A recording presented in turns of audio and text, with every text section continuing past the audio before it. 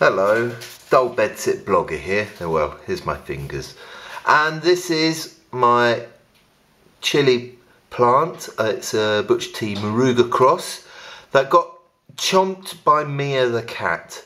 And uh, we've named it Gimpy because it's uh, it, it had a difficult start in life. And look how bushy it is now. Look at the bushiness. But it does seem very rather yellow at the moment and have a look at getting these sort of like little brown patches on the leaves. Any of the green fingered people out there, please help Gimpy. Help me help Gimpy. Bye bye.